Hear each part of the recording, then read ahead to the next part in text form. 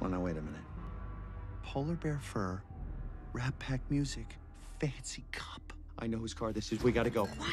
Whose car is it? The most feared crime boss in Tundra Town. They call him Mr. Big, and he does not like me, so we gotta go. I'm not leaving. This is a crime scene. Well, it's gonna be an even bigger crime scene if Mr. Big finds me here, so we're leaving right now. Oh. Raymond! And is that Kevin? Long time no see. And speaking of no see, how about you forget you saw me? Huh? For old time's sake? That's a no.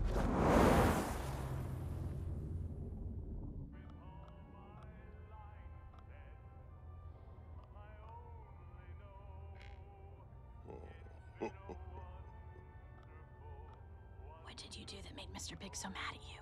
I, um, I may have sold him a very expensive wool rug that was made from the fur of a skunk. But Oh, sweet